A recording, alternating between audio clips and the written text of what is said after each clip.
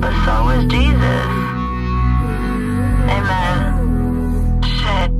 A woman